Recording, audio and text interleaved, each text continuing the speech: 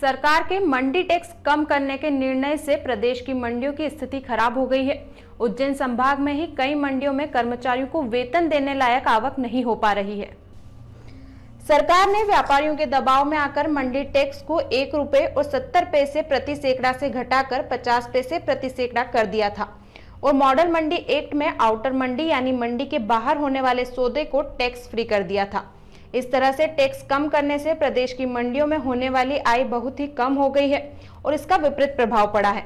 Model mandi act लागू होने के कारण मंडी के बाहर होने वाले सौदे से आय बिल्कुल निरख हो गई है।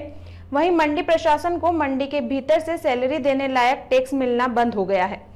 मंडियों की आर्थिक स्थिति का आकलन इस बात से लगाया जा सकता है कि संभाग की कई मंडियों में कर्मचारियों को सैलरी देने लायक आय नहीं हो पा रही है।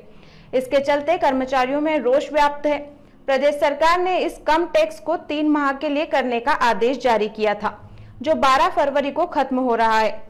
इन तीन महीनों में होने वाली आय का आकलन सरकार करेगी, उसके बाद मंडी टैक्स के पुनः निर्धारण करने की कवायद होगी।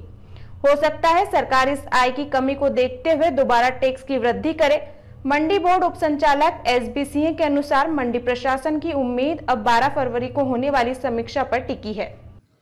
पिछले दिनों राज्य शासन ने निर्णय लिया था कि मंडी टैक्स को कम करते हुए उन्होंने पचास पैसे किया है। जी। तो पचास पैसे से करने के बाद जो है उसको तीन महीने का समय दिया गया है ठीक कि अभी वर्तमान में हम पचास पैसे मंडी टैक्स को निर्धारण करते हैं और तीन माह पश्चात इसकी समीक्षा की जाएगी। ठीक तो तीन माह लगभग बारह फरवरी को कंप्लीट हो रहे हैं। तो उस बैठक में शायद टैक्स के संबंध में, निर्धारण के बारे में समीक्षा की जाएगी। और जो भी निर्णय राज्य शासन के द्वारा किया जाएगा, वही लागू होगा। अब ये ये ये सब बीते, बातें जो है, नीतिगत हैं। सरकार के द्वारा जो भी नियम निर्देश दिए जाएँगे, उसके अनुरूप कार्रवाई की जाएगी।